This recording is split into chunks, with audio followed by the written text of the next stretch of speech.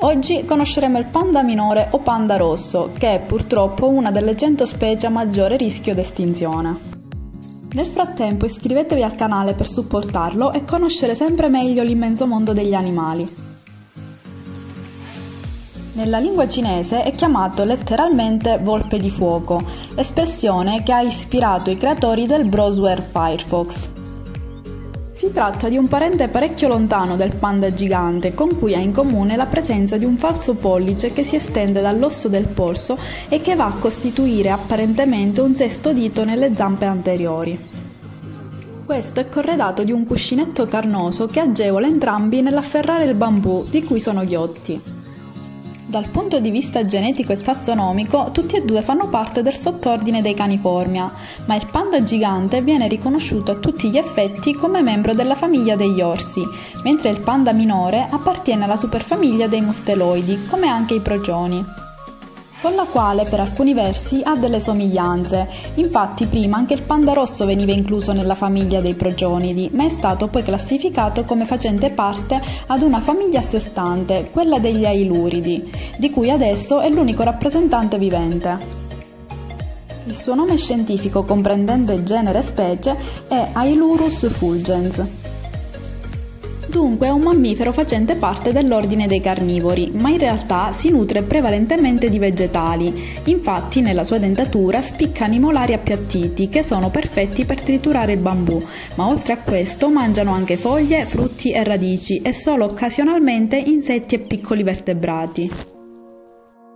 Per bere, a volte, usa un sistema curioso, e cioè mette la zampa nell'acqua e poi la lecca. Negli adulti la lunghezza di corpo e testa va dai 50 ai 64 cm, con un peso compreso tra i 3 e i 6 kg. La coda è molto folta e lunga, può andare infatti dai 28 ai 59 cm e presenta anelli di colore rossiccio alternati con anelli color ocra.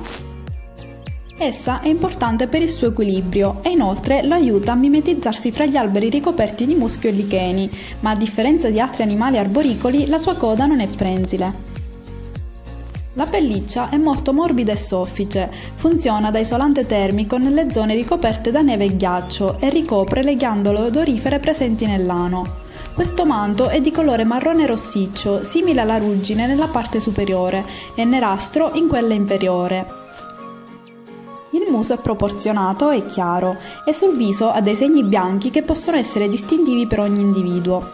La testa è tonda con orecchie verticali e la mandibola è molto forte. Naso è nero, ma gli occhi sono ancora più scuri, quasi neropege. Le gambe sono corte e nere e le zampe sono ricoperte da fitti peli. È dotato di artigli lunghi e robusti, semiretrattili, che gli permettono di tenere saldamente i rami e le foglie di bambù mentre mangia e di arrampicarsi e saltare in velocità tra gli alberi con maggiore sicurezza. Inoltre è uno dei pochi arrampicatori che quando scende da un albero a testa in giù ruota le caviglie per mettersi in quella posizione.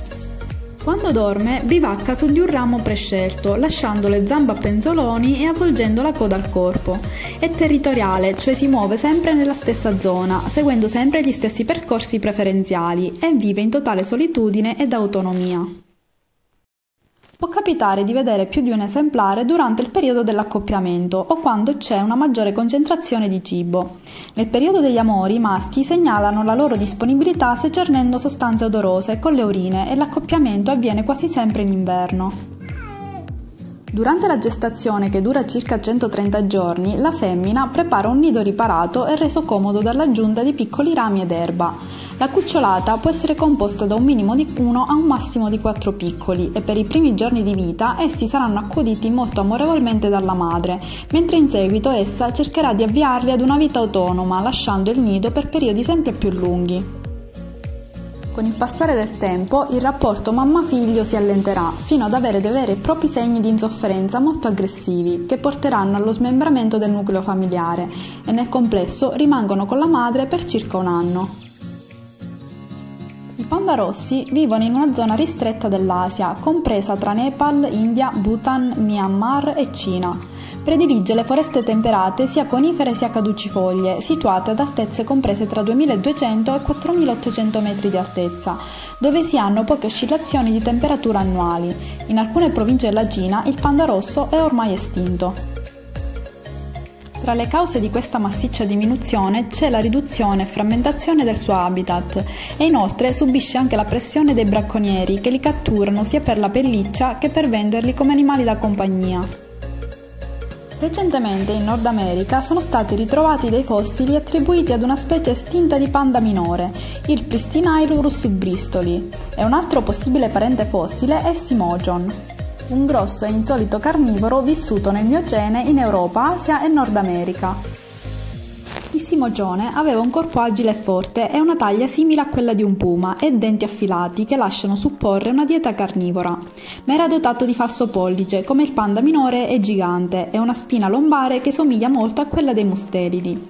Forse il falso pollice gli serviva per arrampicarsi sugli alberi, fuggendo ai predatori più grandi di lui. Sulla base delle differenze morfologiche, come colore del mantello, anelli della coda e morfologia del cranio, si distinguono due sottospecie, Ailurus fulgens stiani, la sottospecie cinese, e Ailurus fulgens fulgens, la sottospecie himalayana. Tuttavia, alcune differenze sono tali che alcuni studiosi hanno proposto di classificarle come due specie distinte, ma questa divisione è di difficile attuazione, poiché sulle due sponde del fiume Nuyang, che rappresenta il confine geografico tra i due gruppi, i panda rossi sono molto simili tra loro e quindi difficilmente assegnabili all'uno o all'altro gruppo. Grazie per aver guardato questo video, se il contenuto vi è piaciuto iscrivetevi al canale attivando la campanella per scoprire gli altri animali di cui parlerò. Un saluto e a presto!